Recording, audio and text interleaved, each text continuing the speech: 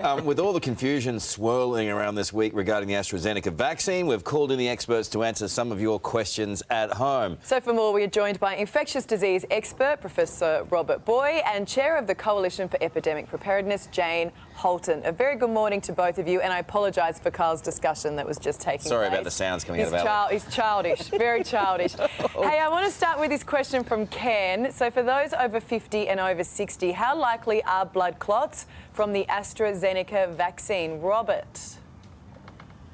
Good morning. Well, the risk for someone like me in their late 50s or 60s is about one in 100,000. But GPs and emergency departments are so good at finding it and treating it that the risk of dying is only 5% of those. So uh, one twentieth of one in 100,000 is one in two million. Some ma- maths for you. Bronwyn asks, how, how big is the risk then for blood clots with the Pfizer vaccine, Robert? Yes, well, blood clots, uh, the syndrome, TTS, doesn't occur with, with Pfizer. Uh, you, you may get an incidental clot in your leg, but not because of the vaccine. Okay, pretty simple answer there. Now, um, Cheryl's written in, and we had a few questions like this. Why is it not mandatory for all visitors to aged care facilities to have the vaccine? Jane, can you explain this one? Yeah, sure. So we've only just taken a decision, which I'm delighted about, that all workers in aged care need to be vaccinated. And yes, there will still be some risk from visitors, but of course, the thing we know is that if we have to go into lockdown, visitors don't have to come into aged care, and uh, of course, workers do. So that's a, another step. And of course, we still haven't had wide rollout of the vaccine. It's getting there, which is great news, uh, but it'd be a bit difficult, I think, at the moment to exclude all visitors if they're not vaccinated. But we can exclude them if we need to. Uh, another question along the same lines. Um, Trevor asks, uh, why aren't all frontline workers vaccinated? Well, I'll Well, answer that. Jane, Jane, Jane, I mean, sorry. this is one of the challenges. Yeah, okay. Sorry, who, do, who would you like to answer that one? Let me have a crack first. Robert can go next. We, we need frontline workers to be vaccinated, and uh, we need, they were 1A, and we need them to be vaccinated. And certainly, if you're not a vaccinated frontline worker, I would not be putting them and other people in harm's way. Um, Robert, because it is a big gap in the system, isn't it? Yeah, and it can be improved so easily. In so many uh, jurisdictions, you can't get into an uh, uh, aged care facility to visit unless you're vaccinated against flu. And likewise, you should be vaccinated against um, COVID, particularly because the visitors are usually people at greater risk themselves because they're in their 50s and 60s. They're the children of people in their 80s and 90s. So, so um, can you answer this then, both of you um, uh, individually?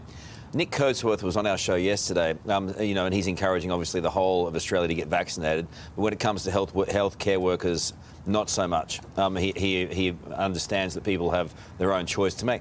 Isn't that a weird mixed message? And, and why would someone of that, I guess, standing in the medical community not insist upon it, Jane? Well, I don't know, to be honest with you. Uh, I think that is a mixed message, and I certainly think if you are treating patients, uh, if you're anywhere near, for example, an infection control um, environment or an infectious diseases ward, you need to be vaccinated.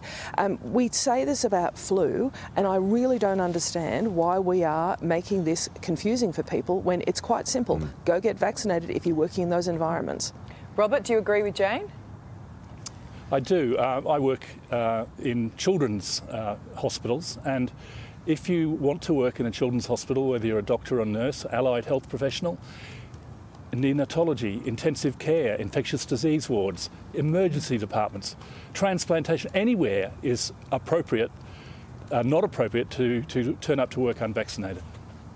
Sends a, a, strange message too if, if health care workers aren't uh, don't want to get the vaccine to the general public doesn't it's a hard one to overcome that. Um, anyway uh, let's go to this last question. Simon asks if you've been in a hot spot but you're vaccinated do you need to isolate robert Um, you still do because the vaccine has a tremendous effect on severe disease, but on transmission, somewhere between 40 and 60 to 70 percent prevention. So it's still good, but it's not perfect. So if you've been vaccinated, you can still catch the infection, but mildly. You're less likely to transmit it, even if you are infected. You have a lower viral load, but you could, and that's why you isolate. Okay, and I've just got quickly one more. This one's for you, Jane. Peter asks, when will we have other vaccines available and are they safe? Yeah, so uh, of course we know about AstraZeneca and we know about Pfizer, and we're going to start getting, we hope, Moderna in September, and that'll ramp up significantly in the last quarter. And then there's another vaccine which we've purchased, which we haven't talked about much, which is called Novavax. Novavax isn't registered yet in Australia, but the trial results on it look fantastic. So even if we don't use it as the first round of vaccines, it might be one of those things that we can use to boost. But as yet, we don't have dates on that. All right, great stuff there, guys. Thank you so much. I'm Following investigations into unvaccinated healthcare workers in two states, it's all happening this morning in Sydney. Two nurses plunging hospital wards and aged care homes into lockdown, exposing thousands of staff and residents. While in Queensland, a probe launched into why a hospital receptionist outside a COVID ward was not vaccinated. Well, the man leading that inquiry is Dr. Paul Griffin, and he joins us now from Brisbane. A very good morning to you, Paul. I think the big question this morning is how are frontline workers still unvaccinated? And we're almost six months into this rollout. Look, it's a good question. I mean, I would have thought by now we'd have nearly everybody vaccinated. I think that would uh, have been the ideal situation, but we're clearly a long way from that. We've obviously had a prioritised rollout where people working with those that are most vulnerable from consequences from this virus, such as in the aged care sector and healthcare, were clearly prioritised. But it's no secret that our rollout is well behind where it needs to be. And I, I think overall we have some issues to address, particularly the communication at the moment. And, and I think looking at fixing it uh, on a broader scale should be where the focus is right now. Just forget about for a second vaccinating the general public. Mm. It's not just a matter of um, not having enough vaccines for healthcare workers, it's that they're deciding not to have them. Yeah, look, I think it's uh, there's no simple answer here. I think some of the, the messaging ha has been challenging. I think a lot of people still don't understand the, the benefits of these vaccines and just how well they, they do work. Do you mean healthcare much... workers?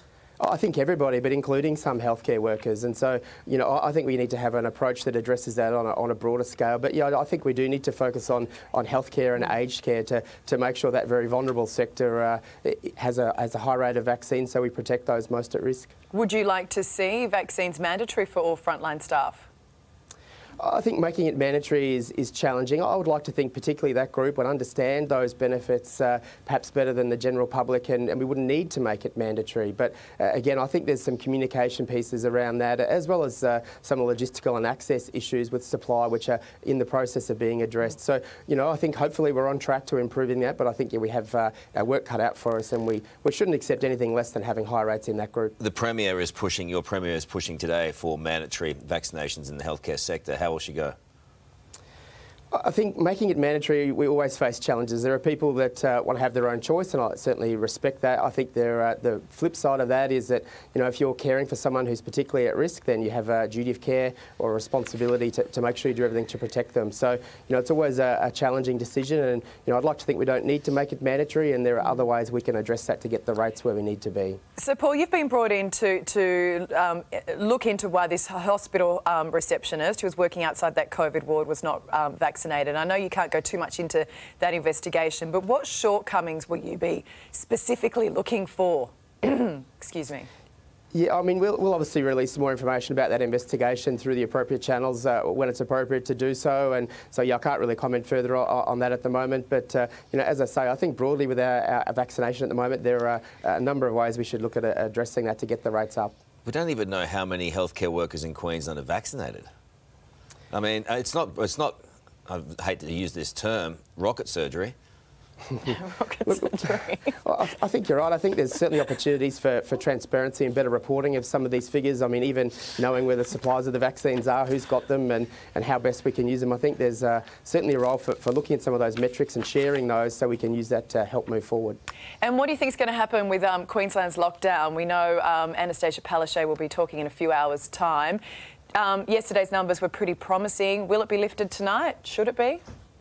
I think we should be optimistic at the moment. I think we're on track for that. Of course, it depends on today's numbers, and if there was uh, a few uh, new cases, particularly unlinked cases, then we'd have to reconsider, I guess. But uh, I think it'll lift. But I think we need to keep in mind that all those mitigation strategies we were doing before certainly do need to keep going. Masks, for example, social distancing, checking in to, to venues, but of course, high rates of testing. All those things need to continue so we don't get back into the situation when we need to have a lockdown. Quickly, will vaccinations stop lockdowns?